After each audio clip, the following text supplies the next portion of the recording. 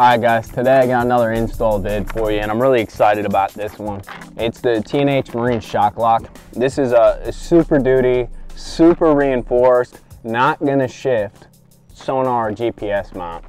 Um, there's no ball joints involved with this guy. This guy is solid, yet she adjusts 360 degrees. You can adjust it any way you like, but she's never gonna slip on you. You're never gonna have that situation where you hit that three footer and your GPS or your sonar just shifts like three inches. That's not gonna happen here.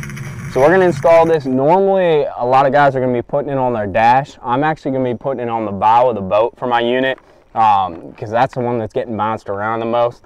So I'm gonna go ahead and uh, run through the steps. She's real simple, real quick, and it's gonna save you a ton of loot in the end because frankly, when it comes down to it, what's probably the most expensive accessory you have on your boat? That's gonna be your electronics, so you gotta take the most care of them. So let's get this thing rolling. TH Marine, shock lock. All right guys, the first thing you're gonna wanna do is take the base out of the shock lock. The base is real heavy duty.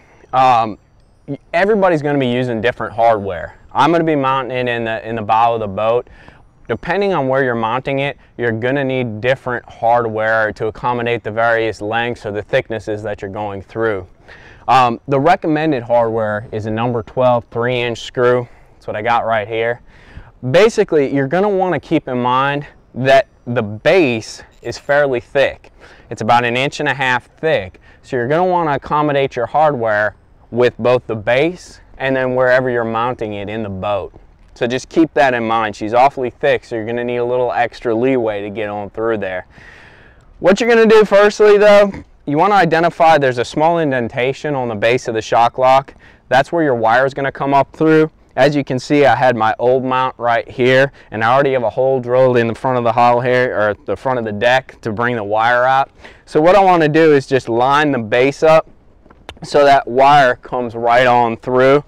She's got full mobility, can move it on around. And I'm just gonna line it up and then I'm gonna go ahead and I'm gonna drill three starter holes to drop these screws through so we can go ahead and screw this base down. So let's get this thing started.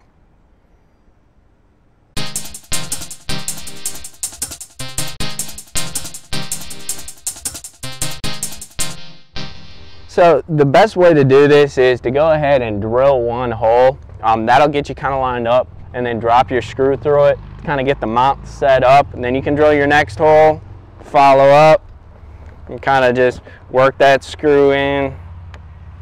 Sometimes it takes a little bit to kind of push her on through, but that way you're lining yourself up and you're not gonna have to readjust and drill extra holes through whatever kind of mount or whatever you're mounting the, the base there. So I'm gonna go ahead and um, get this last one through and then we'll go ahead and put the hardware on the back end of it.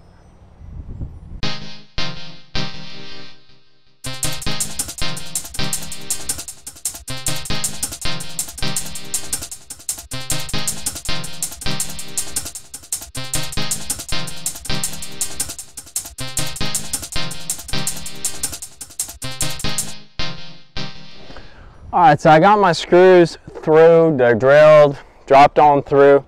Now what we're going to be doing, and this is pretty simple, I mean, it's not too complex, but I just want to run through it so that we're all on the same page.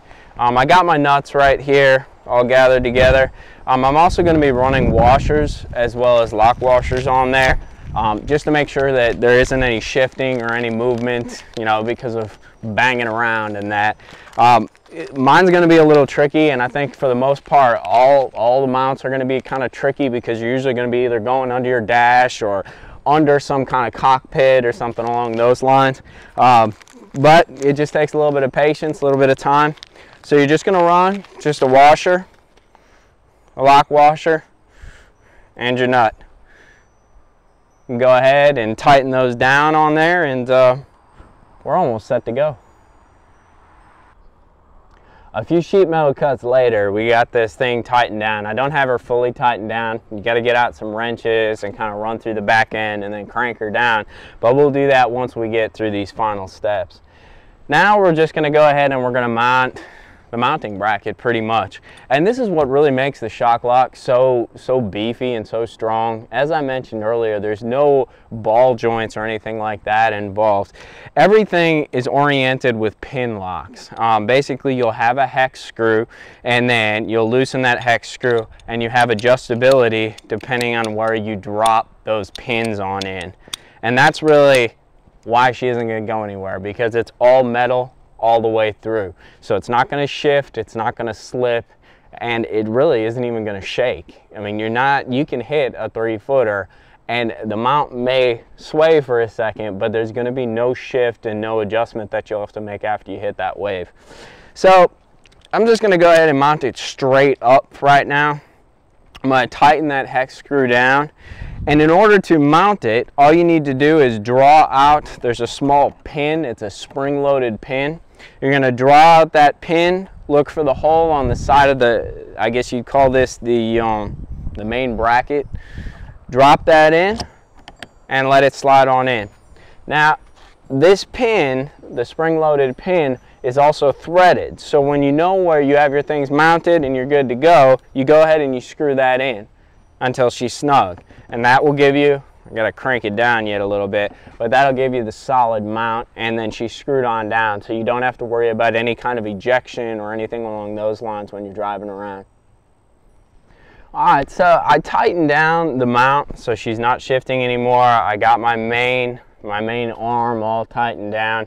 The last thing you're gonna need to do is go ahead and, and mount the mounting bracket. The mounting bracket comes with an array of layouts. Um, it should fit just about any unit. Uh, so basically, I would actually put this on before you go ahead and put your unit on, kind of get it all lined up, and then you can go ahead and mount your unit on here.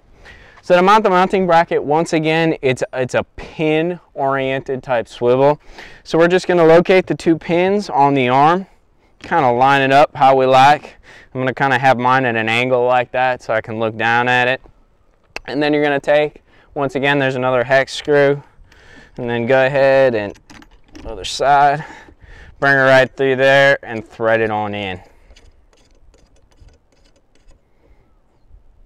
And we're good to go there. Then the other thing that you can do is there is another pin swivel on the actual mounting bracket.